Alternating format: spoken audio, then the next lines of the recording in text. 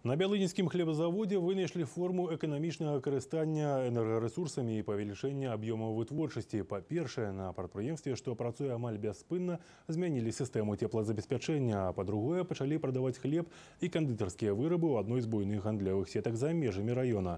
Працяг у нашых корэспандэнтаў.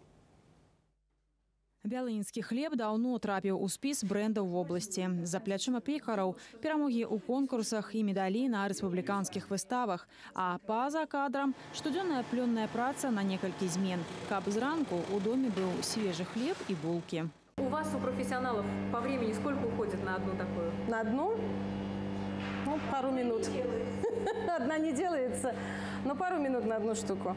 Хлеб бялыніцкі чаканы госць і на малой радзіме, і ў круглым, і ў шклове, і ў магілёве.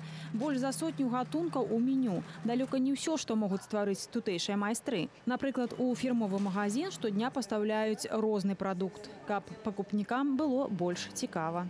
Хлеб э, едят у нас даже летом еще чуть-чуть и больше, потому что э, сельское население, приезжают дети, дачники. И хлебом мы, если мы зимой производим где-то около 150 тонн, то летом уже 160-165 тонн. Пякарня вытворчасць энергазатратная, таму з павелічэннем аб'ёмаў выпуску прадукцыі тут задумаліся над памяншэннем аб'ёмаў рэсурсаў. У выніку замянілі старую кацельню энергетычнае сэрца завода на сучасную энергаэфектыўную. І ўжо зімой чакаюць першых вынікаў такога пераабсталявання. Установили один энергоемкий котел, установили до 90 киловатт, что существенно сократили потребление газа, электроэнергии сократили. Мы планируем выйти на конец года по экономии, ну, где-то ожидаем 30-35%. Снежана Крыжевич, Седа Каспарова, Александр Тарасаў, Навіны рэгіён.